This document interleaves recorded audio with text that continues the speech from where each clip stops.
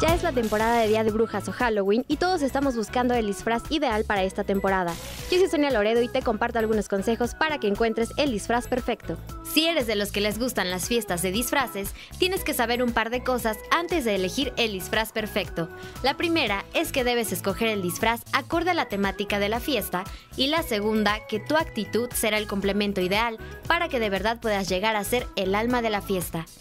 Los disfraces de personajes animados más famosos del cine o series de televisión son generalmente los más populares en las fiestas de disfraces, como por ejemplo La Sirenita, Blancanieves, Frozen y un largo etcétera. Otra temática muy utilizada en las fiestas de disfraces es la de personajes de películas de cine. Si antes comentábamos los de animación, ahora vamos a centrarnos en personajes de películas live action famosas, como por ejemplo personajes de Star Wars, El temible depredador, Marty McFly, todas las de superhéroes por supuesto, como Batman, Superman, Catwoman, Harley Quinn, Capitana Marvel y muchos más. Dentro de los disfraces de películas son también habituales los personajes de miedo o terror. Estos personajes tienen a su favor el factor de la intriga y el juego constante con nuestros amigos, pues al optar por este tipo de disfraz tienes más facilidad de interactuar y hacer pasar un buen rato a tus amigos en la fiesta.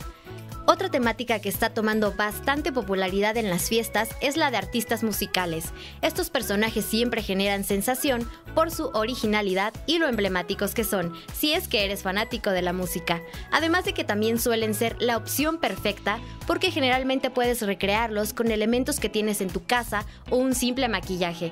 Por ejemplo, Kiss, Luis Miguel, Luisito Rey, José José y la odiada Sarita, Marshmello y el polémico 69.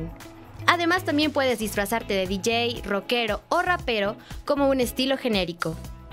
Lo importante es que puedas utilizar algunos elementos que puedas encontrar en casa para que no te salga tan caro, aunque actualmente ya existen muchas opciones para que no te compliques el obtener el disfraz ideal, como por ejemplo rentarlo en una tienda de disfraces. Espero que alguna de estas opciones te haya servido para que encuentres el disfraz ideal. Yo soy Sonia Loredo y te invito a que nos sigas en todas nuestras redes sociales de plano informativo.